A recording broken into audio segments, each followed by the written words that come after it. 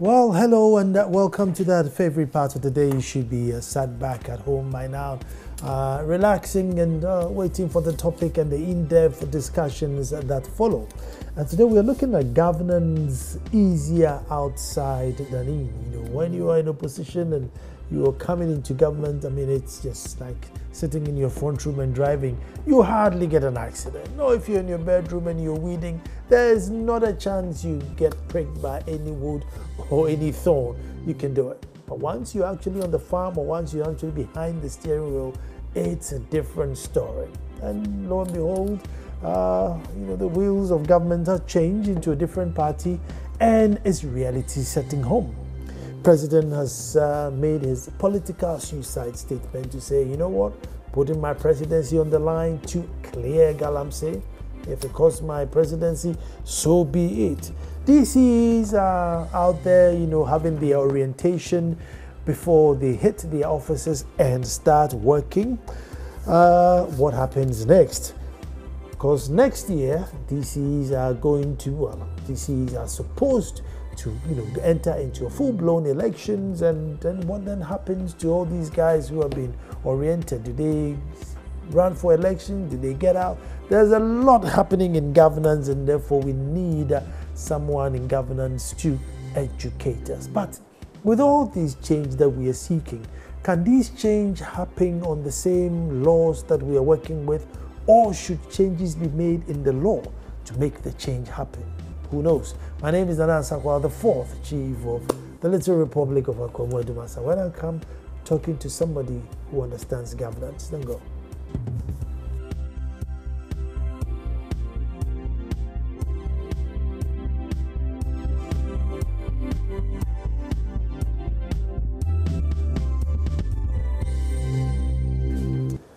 Thank you very much for staying. Governance easier outside than in. With me in studio is Dr. Eric Oduro Osae. He's a political analyst, he's a lawyer, and a governance expert. So he understands what's happening.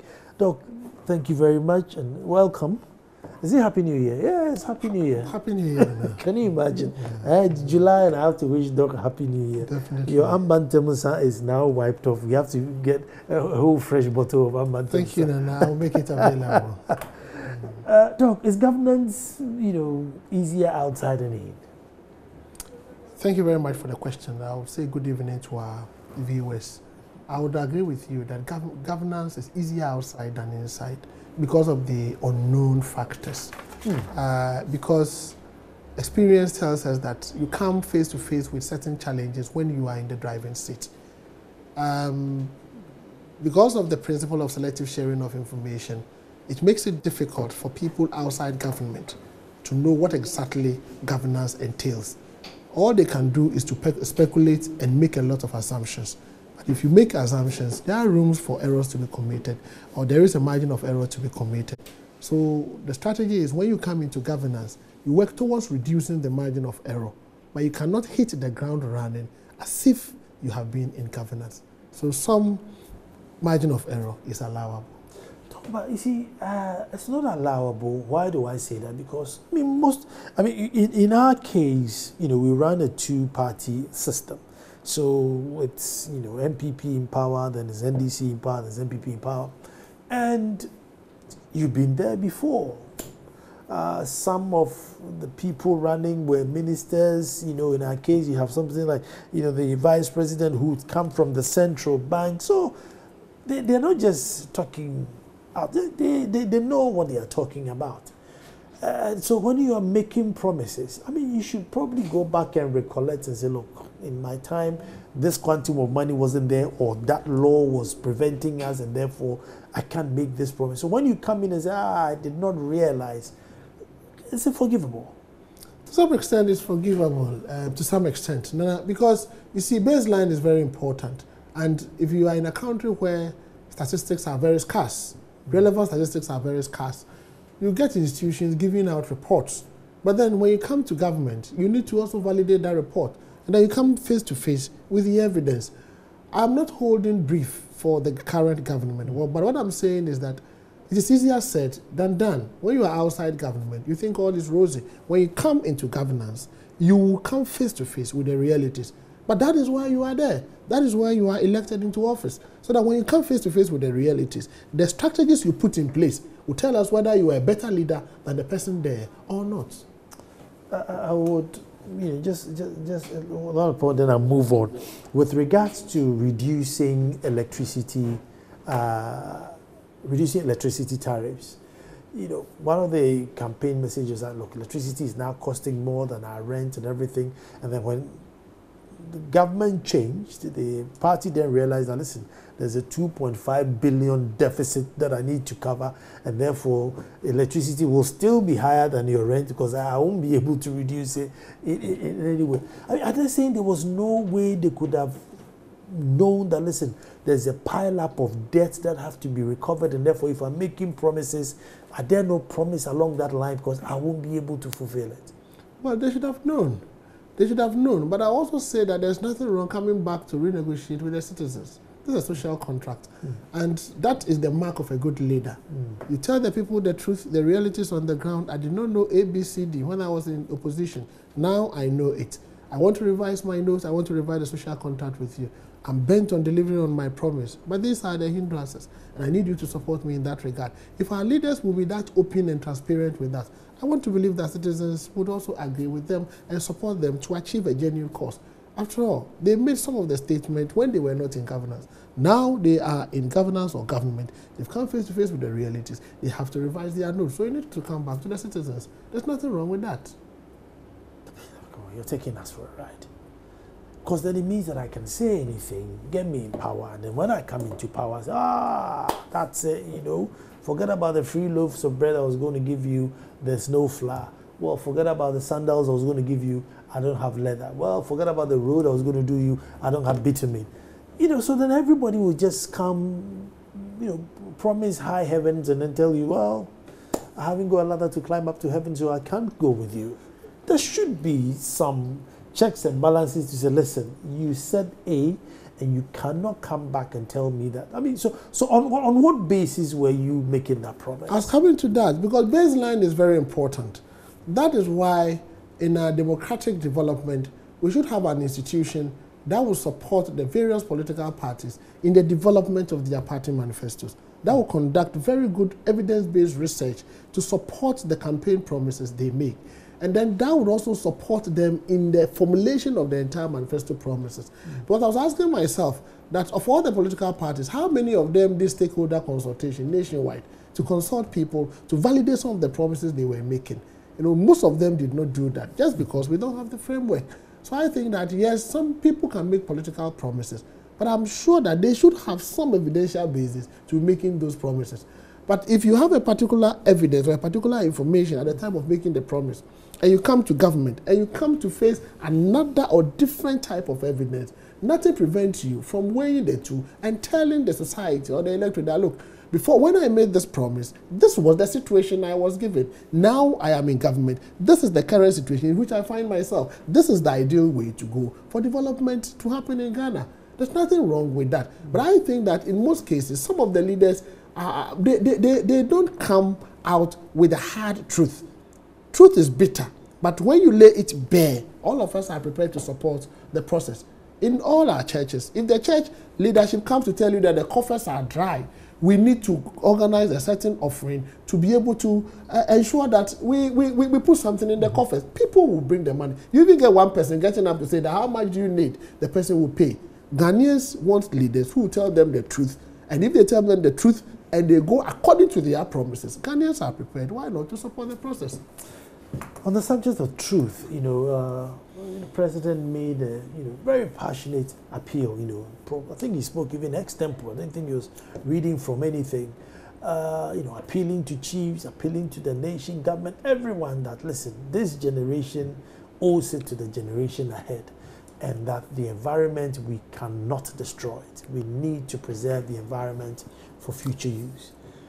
And uh, he said that cabinet, you know, some people have warned that, listen, these guys will vote against us and this. And he, he said, listen, if that's what's going to take to get me out of power, then that's what it is. But the choices I have to make I have to choose the right one rather than the one that would vote me into power. I mean, is that politically wise statement or is that a political suicide statement? See, I have always said that we need a leader who will say that I will do the right thing and then rule Ghana for only four years. Mm. Rather than doing that which is acceptable to people. Because in politics, most politicians have this belief that in politics, you do that which is acceptable, not that which is right. Mm -hmm. Because if you do that which is right, you will lose the next elections. So they will end up doing that which is acceptable, which will please the people. Though that is not the right thing to do. So I want a leader, I'm looking forward to a leader who would say that I will do that which is right, make sure Ghana develops. If I'm, I'm retained in office for only four years and I know I, am not voted into office for the next four years, I like it. And that's the kind of statement the president has made. It's very important he goes by that because sustainable utilization of resources is very important. And that is central to sustainable development. And democracy without sustainable development is meaningless because you cut it short somewhere. We need to make sure that we sustain the utilization of resources through very good environmental management so that sustainable development can, uh, can happen in Ghana. You know, so I, I want to believe it may be in part political statement. On the other hand, I also want to believe that he means what he's saying because he knows how it can cost him if he goes all out to ensure that we manage our environment well. But that is the kind of leadership we need. I've always been saying that we have copied democracy uh, blindly. Mm. Africa, we need African type of democracy that would bring, uh, give us the kinds of leaders that would understand the nature of our society mm. and provide that kind of leadership that will introduce some level of catalytic development in our society. Mm. We, we are not there yet because we have a society where uh, majority, excuse me to say, are illiterate. Majority do not understand the implications of our laws. Our laws are also in technical English language that people will not understand. Yet we want to practice a type of democracy that is practiced by a Western or developed countries where about 80% of the society can read and write and they understand the implications of their laws. Look at the disconnect. It's about time we evolve the African type of democracy. But then we need that kind of leadership that will be trustworthy. The leader that would say that I'll do that which is right, not that which is acceptable, eschew political expediency, and rather consider development as a number one priority. If that leader is able to come in this day and age, we'll be able to see rapid development in Ghana. I mean, but once, with the sort of politics that we run, the opposition then is going to probably latch on to it and say, well, that's it. You go ahead, get voted out. When we come, we're not going to make that mistake. We're just going to open the floodgates again. You see, that's what makes the leader then backs down at the end. Because, you know, former President Mahama said, look, I wasn't going to pay allowances to teachers and nurses. Look, yeah. everybody, if you want to be a teacher, if you want to be a nurse, you go to the school. Because if I do the allowances, I'm limiting you. If I don't, it's every, uh, you know, but just a few days to the elections, there were cash on tables and people queuing up, come and take the money, come and take the money. Even though by then, you know, people were so disheartened, they took the money and still voted against. I mean, is this is the same thing going to happen somewhere here where you say, well, it's okay, you know, go and dig your, go and do your galamsey, just don't go near the rivers, you know, just. I, I, don't see that happening. If, if it's happening, it happens, it will be politically suicidal for them because now both the opposition and the government in party have bought into it. And I like the media's approach. The media has also bought into it. And Nana Nom has also bought into it that, look, enough is enough. Mm. Galamsey must end now. Not only Galamsey, any form of environmental degradation must end now. So Ghanaians have bought into it. So if they backtrack on this particular issue, it can cost them the next elections. No, no, but by now, I'm sure political leadership will be looking to us probably in the media for support because uh, just like this Galamsey, I mean, he, I mean, you know, uh, even the minister was making statements like, "Oh, uh, you know, I'm looking to the media for support." I mean, sometimes they become so helpless. helpless. They know what is right, but they dare not move. So it's like, please agitate so mm -hmm. that I can, I can I can ride on that wave. Uh, do you think on a statement like this, they will be looking at us for us to say, well, well done, go ahead, well done, so they can move? No, no, you see, they are, they are being reasonable. They are being reasonable because they are first and foremost politicians. Mm. And it's the policy that has brought them to where they are. They may want to do that which is right, but they are, they are, that part of their political wisdom is telling them that you have to hasten slowly So it gets to a point in time where they need the support of a, a, a vibrant group like the media and the entire society so that they will say that, well, I, I would have wished to do that which is acceptable. But then for the pressure from the media and the others, I'm compelled to do that which is right. Mm. In that case, uh, they are, they, their followers would agree with them, you know. So they, they, they sort of want to find a comfortable place or a face to hide behind, as it were. They are being reasonable. Whichever way we look at it, it is good now they have come to accept that it is not the right thing to do. Mm. And in the, for the purpose of Galamsey, they are saying, I'll do that which is acceptable, uh, which is right, not that which is acceptable. And I like it. In fact, if we can approach national issues in all these cases, or national issues in all, along these lines, at every point in time, a minister or a politician will say that because the media will chastise me, because the media is backing it, I'll do that which is right, Ghana will develop. Wow. But you see, the, the, the, the reality on the ground is alternatives. I know when somebody's breaking the law, you know, it's not up to you to say, well, because you're breaking the law, come and let me give you uh, a law abiding job. It doesn't become your responsibility.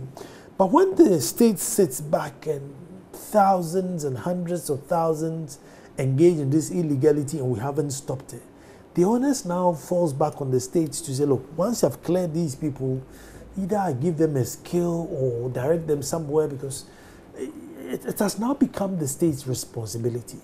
So, I mean, without alternatives, that's, that's a. You see, the, the Galamsey issue requires to be managed well and managed carefully, else its um, social repercussions will be disastrous. Mm. I agree that we should end Galamsey now, mm. but end Galamsey now and do what? People must know that there's a difference between illegal mining and legal small-scale mining. Mm. So what we can do as a nation is end Galamsey, but then put in place a short to medium-term strategy of supporting them to convert their operations into small-scale mining. And then if government can have a way of even supporting the small-scale miners to form them, themselves into bigger mining firms so that at least they will also be able to compete with other foreign uh, mining firms in this country. That would help, you know. So I, I think they should use that um, two-point approach. If you say that you are ending it now, then what it means is that you are putting other people on the street to do other things because they may they may want to find alternative means of livelihood for themselves. You know, so as part of our social protection system, we need to develop something like that. So I don't expect them to end it and leave the people like that. You end it, develop the short to medium term strategy of supporting them to convert their activities into legal small scale mining or those who are already operating as small scale miners, support them to come together into a joint venture to form bigger mining firms so that they also be operating. They, they, anybody who will say that small scale miners are not contributing to the socioeconomic development of this country is lying. But when you look at the statistics, it is there. So if we're able to support them to do it well. It, it's, a, it's, a, negative contribution where, yes, they are putting something in, but the distraction they're causing behind, uh, what they're putting is not even enough to go back to repair what they're doing. But, Doc, you see, the reality, I'm listening to you, and yeah. the reality is, at the best of times, we are creating 5,000 jobs a year. Mm. At the best of times.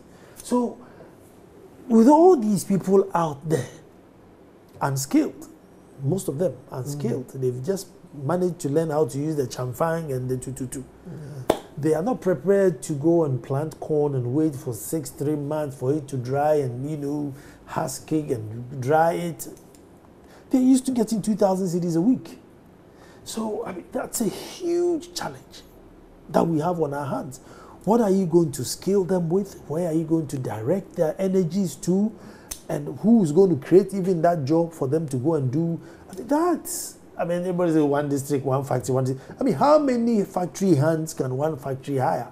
You take somewhere like ATL, which is a big factory. At the moment, I think there's only like 1,500 people working there, and that's a huge factory. So, see, that, that's what I'm saying. That it, it all boils down to strategy. Um, we have other bigger mining firms working in this country uh, we can have a way of um, entering into an arrangement with them to absorb these people. That is, if, if the skills they have is of relevance to the mining firms. But we should be able to prepare them for that particular absorption to take place. Whichever way we look at it, it is too suicidal for us to leave them on the streets. Mm. If we leave them on the streets, then we should prepare for another um, another disaster. They'll, they'll, they'll, be mining somewhere else other, well, other, other than the They'll be doing day and night mining, and you can, you can be sure what will happen to you and I. Okay, I'm going to take a quick break here. And when I come back, what I want to find out is I know uh, the DCs are just going through their orientation. But meanwhile, during the, one of the campaign promises was that by 2018 June, uh, DCs will be elected. However, you know, July 2017, they're going through an orientation. So what, after one year, it's all back to, you know, ground zero. The rules are going to change. That's going to be a whole different dimension. And I know Doc will educate us on that. You don't want to move. Governance is definitely easier outside than it is when you are inside. Now that you are inside, uh, the NPP promised that uh, district uh, elections, you know, district DCs, you know, will go through a normal election rather than the president sitting in Flagstaff House and people lobbying, well, put him there, he helped us, he helped us so that people within the community will put themselves up, the community themselves will know who's capable, who would help them, and then they will vote. However, the laws and stuff are there that allows the president to, you know, nominate people rather than people just, you know, putting themselves up. Doc, I mean, well, I spoke to you this morning and said, look, it's six months down the line and DCs are now going through an orientation. And you said, look, that's quite quite quick. You know, six months is not bad. So you don't, don't complain. I mean, uh, most DCs have even taken longer. Which, I mean, I'll come back to that. But I mean, if six months you're now doing your orientation, the last six months of the four years, you definitely be in active campaign. So it gives the DC three solid years to now run the office. One year is completely lost. But we'll come back to timing. But we're just looking at, you know, in, in 2018, you know, we should be going to the ballot box lane to elect our DCs. How does that work? Now DCs are going through the orientation to go and start working. After one year, they hit the road that if you want to run for an election, how, how's it going to work? Well, you see, um, with the current arrangement, the president has no option than to go by the existing law. That's under Article 243 mm. of the Constitution, which requires the president to nominate persons to represent him, to represent the government at the local government level, after they've gone through to test approval of the respective assemblies. But the party also, during campaigning, made the promise that they're going to elect chief executive. What it then means is that we have to amend our law, we have to review our laws to make this happen. Because the laws as they are now do not really support election of chief executive. But there is one important policy decision the government need to take. Whether or not this election, direct election, is going to be on partisan basis or non-partisan basis. At the moment, assembly members are expected to put themselves up on non-partisan basis. So if you want to follow that line, then what it then means is that they just have to use their numbers in parliament to amend Article 243 of the Constitution mm -hmm. and Section 20 of the Local Governance Act 936. That is an easier route to go. But then if we want to elect chief executive on partisan basis, then it goes beyond that because it will require a referendum to be undertaken. Because in our Local Governance Act and in the Constitution, all forms of elections at the local government level is expected to be non-partisan. Mm -hmm. Once you introduce partisanship into it, whether for the political leadership, chief executive, or the assembly member, you have to amend the constitution. You know, and you go through a referendum. And when you look at the time space, you will be able to go through the referendum. But after the referendum, the feedback from the referendum should fit into amendment of the laws. And when the laws are amended, you need to sensitize people before you come to implementation. So with all intent and purpose, if we don't start now, it will be extremely difficult for us to see DCs being elected within the shortest possible time. Mm. That is, if, if, if we don't start now. But if we start now, we'll be able to do that. And if we are able to do that, what is then going to mean is that those who are currently in place, those who have been appointed, will then have to transit and then put themselves up for elections mm -hmm. when the time is due for chief executive to be elected. But whether or not they will get the nod will depend on how they have performed within this period. And I want to believe that when the laws are amended, they are going to put in place transitional arrangements that would allow the current system to, or the people leading the current system to transit into the new arrangement. You know, so it is it, it's a matter of law, it's a matter of policy. But the most important decision the government needs to take now is whether or not they are going to do election of DCs on partisan or non-partisan basis. So let's let's look at this uh, the differences between partisan and non-partisan non-partisan basis. But I mean, uh, we say assembly elections shouldn't be, you know, but they are all they're all very very the partisan and yeah. Yeah. So non-partisan basis, then we're all just being hypocrites. So then ideally is to go partisan, you know, just full-blown partisan. But then it means we have to change the law. We have to amend the constitution. We have to amend Article 220. But before the amendment takes place, we have to go through a referendum. Mm-hmm. Yes.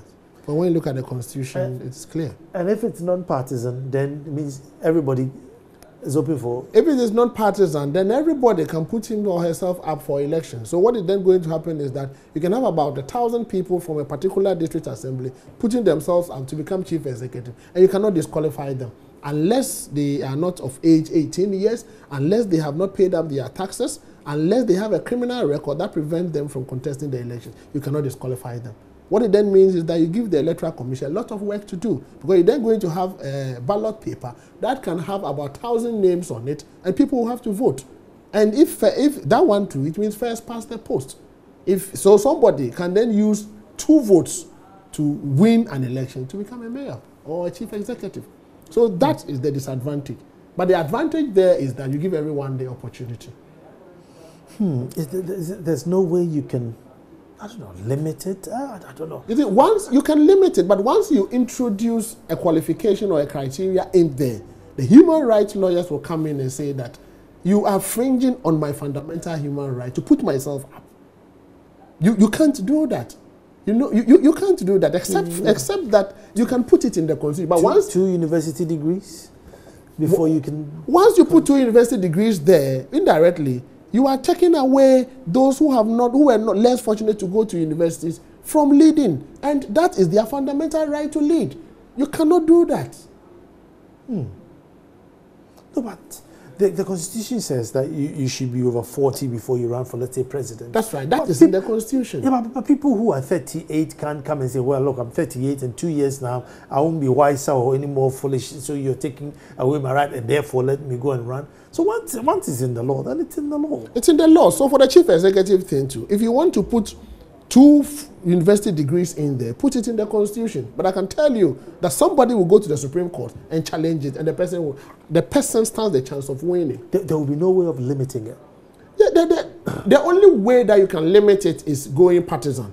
When you go partisan, then you give the parties the opportunity to sieve and come up with the best. So then they will do the necessary checks and balance. They will do the necessary screening to come up with the best candidate to represent them.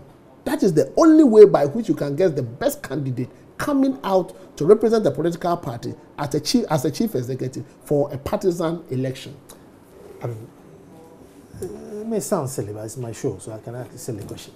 I mean, aptitude test. Once, once, you know, a really stiff aptitude. I mean, you are governance expert, so you guys will put out an aptitude test, and then they'll do it. Say, no, no, this guy, you're not, you're not a leader, or you can't be a DC if you can't answer these questions, and then you kick some out and read. No, no, you agree with me that election does not necessarily bring the most competent person. Mm. It hmm. brings the most popular person, mm. and the most popular person may not necessarily be the most competent person to lead us. Mm -hmm. So if you go to maybe Krabokesi and there is this wise man there who has never been to school, mm. but the man is bringing development. He's, he's able to mobilize them. He's able to talk to them for them to join him in communal labor. Don't you think this man can lead the local assembly? Yes, he can. He can. But you know, can, so but, but may not be able to do the aptitude test. Well, he may not be able to do that. So when, once you introduce the aptitude test, I mean, you you you you take all these guys away. And governance is about people. Democracy is about majority. It's a majoritarian principle. Hmm. Majority carries the vote. You know, that is why we need to improve the quality of our electorate. If we improve the quality of your electorate, then you can get one of the quality electorate to represent them. If you don't improve the quality of your electorate, you will get you you will get the kind of leadership we are getting. It's, it's, no, it's not easy. It's not. That it's, is why we need African type of democracy. We are implementing democracy as if the whole society is fully developed. The whole society can read and write like we have in advanced countries. There are certain things that we have imported wholesale and we have imported it blindly. We have no business importing them. Hmm. Some of so certain parts of our democracy. Because I, even in the royal sense, Nana, you are a royal, you are a traditionalist, and it is not everybody who qualifies to become a chief. Hmm. There are criteria. You, you can come from the royal, royal family. family. But then, if the elders sit and they think that, look, you cannot lead us, you can just not go. But in democracy, try it. Every, everybody goes. Everybody goes. Well, one, of, one of the questions I wanted to find out from you was that if uh, change can come based on the same system, and then you threw in this African democracy thing, should, should we go and look at these laws or these rules in order to affect the real change that we are looking for? That sometimes the system does not allow the sort of government that we are looking for. Because, I mean, with all these things, I mean, half the year is gone. In the next Definitely. four years, you know, you should be ready to leave office and go and try your luck again. Definitely. And if you look at the mess and all this confusion as to whether we vote, it, it, it's, you don't allow enough time for long-term planning. Can true change come based on the system we are running? Yes, it will, it, it will depend on how we work. It will depend on how we sensitize citizens. And it will depend on how we affect changes in the system itself. The system itself requires fundamental changes. Yes, I, so that's I, my question. Yes, that, you know, I, I mm-hmm. really want to believe that if we had imported wholesale the systems that exist at the traditional level mm-hmm. into our governance system would have been far far better off than what we are doing now. I mean, we chiefs don't tell people what the traditional government is like, so it looks very chaotic from outside, and people want to stay you know, far away from it because they they look at it as if it's very, very authoritarian. But now there is some discipline and checks and balances there. Too many. The checks you, you can just not get up and do anything no, anyhow. No, you can't. Your attention will be drawn to it, and that's it mm. in a quiet way. no, no, no, you can't at all. And I was finding out we're having a conversation, and I said that, you know, as a chief, I have all the authority, but the power is being broken up into pieces and given to the sub chiefs, if I may call it. So for me to do anything, depending on which ministry you need, you would have to call somebody from that ministry so that you can do it. And for them to do anything, they come and get the authority to do. So there's always that checks and, checks and balance, which people another way. Maybe we have to do an education on all that. But uh, we're still staying on the system, and I'm going to take a quick break and come back and still stay on the system and find out what do we do. Extend the uh, term of governance, reduce the powers of the president, what do we do so that we can get the real change that we want? Well, for true change to come, for true governance that we expect to come, you know, how much of the laws do we change? Doc, do we extend presidency and probably maybe reduce the powers of the presidency? The police fraternity will groom their own IGP, fire service fraternity will groom their own fire chief. You know, some of these fraternities will groom their own, you know, VRA will bring up their own CEO so that people checks and balances. Do we need that? Or the African democracy should be that? No, look, let the leader pick all these bits and pieces. You know, you make reference to, I mean, I, I don't pick my ministers. My ministers are groomed from colleges. So whether they were there before me or I was there before them, whoever comes, you have to work with them because it's nobody's favorite. It's a college that has elected that minister. Ijasi, Sana, and Kobia has come from a, a, college or a family. And whether you don't like him or not, he has to go from came from the same family again. Will that sort of system work when you move into political systems, or then it becomes a bit tricky? It becomes a bit tricky because of the system we've operated in the past. But if we want to deviate from the past to make sure that we can uh, integrate the current traditional systems into it, then we may end up reducing the powers of the president. Mm. Because, you know, we have three organs of government, and if we want checks and balances to work well, you should not allow one of the organs to be more powerful than the other. Mm -hmm. At the moment, you realize that because the president um, picks most of his ministers from parliament, mm -hmm. president or the executive to some extent have some control over parliament because they, they can be sure that once they submit a bill to parliament and they get their chief whip to whip the people in line, whether he will like it or not, the bill will be carried. Mm -hmm. So then, to what extent that Parliament is a Parliament able to exercise its powers? More to the point, these ministers who are also part of the executive would always find it difficult to criticize their own uh, decisions taken at the executive level. You know, and when you look at judiciary, for instance, they are one of the organs of government that may have been able to stand on their feet to some extent. But even with them, uh, it becomes a hell of time for them to be able to perform some of their functions. So I think that going forward, we need to reduce the powers of the president. We need to allow checks and balances to work uh, as required by uh, that particular checks and balances principle. However, we need to allow certain state institutions to be as independent as possible, mm -hmm. especially the security agencies. I'm looking forward to us having an IGP who will survive government, an IGP who can have security of tenure, an IGP who will be convinced beyond reasonable doubt that I'll be the professional IGP that I want to be. Government can come to power, government can go. I will stay until I hit 60, or I will stay for eight years or 10 years. But his, his position should be in such a way that he will survive government. Mm -hmm. And then the leaders of the various public institutions, in that case, they work with the governance or a national mentality rather than working with political party mentality. And when a government wins power, the government must know that now they are government for everybody. We have they, they have all the human resources in Ghana at their disposal. They can go into any political party, pick anybody they think the person has the requisite skills to support them prosecute the agenda. Once we are able to think like that as a nation, we'll give true meaning to the concept of one country with a common destiny.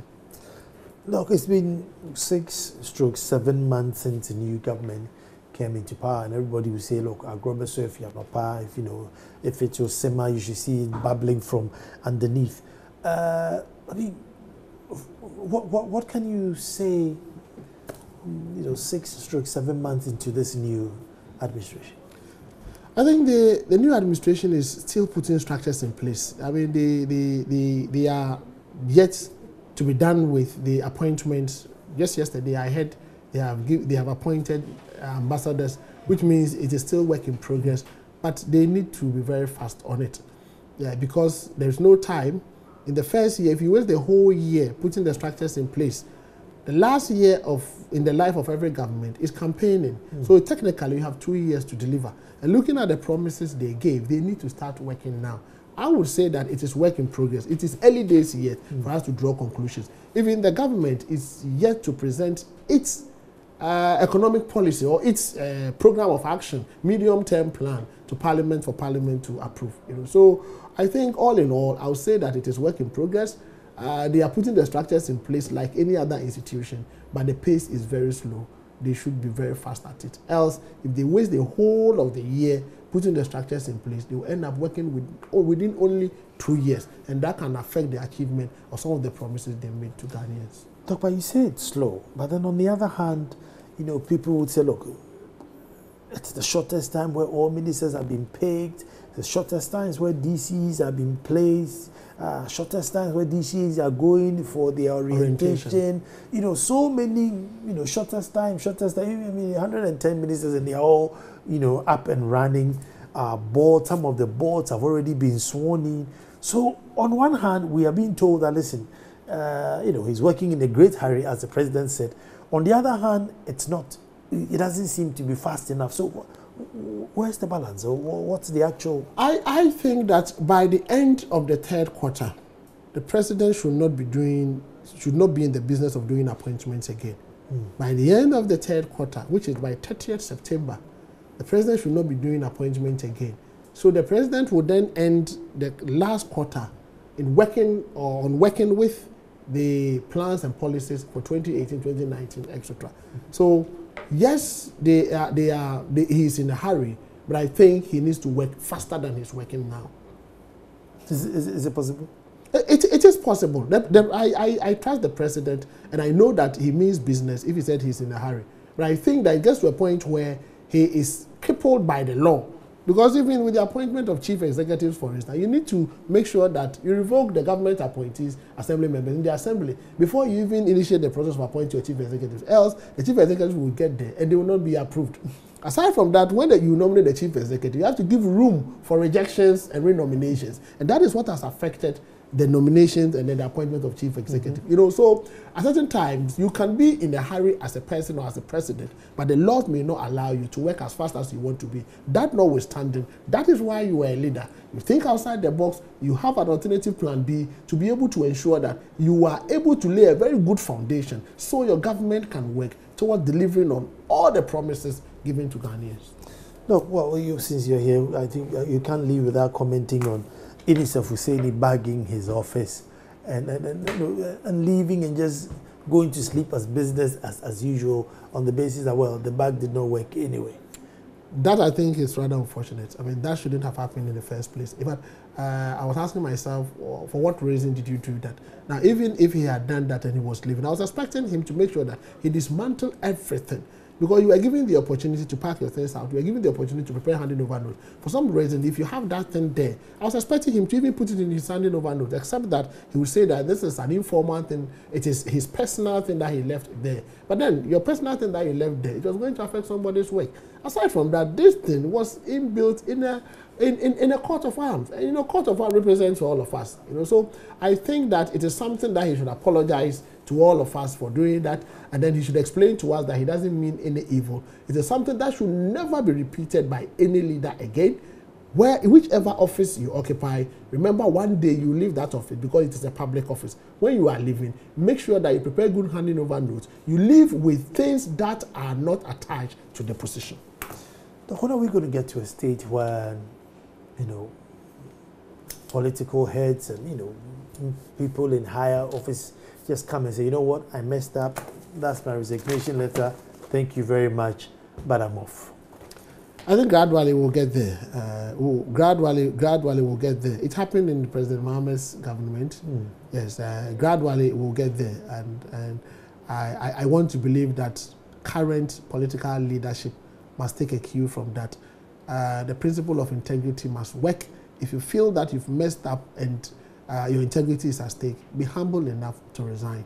And I think you will not lose anything for doing that. So gradually we'll get there. Look, we, we read news of countries where a ship sets sail, captain goes and drowns the ship, and then the guy, minister in the office says, well, if the ship is drowned, then I'm off. Since my ministry, you know, this ship works under my ministry, well, that's it. I'm going home. And I'm sure if they were to do an investigation, well, how could that have been your fault?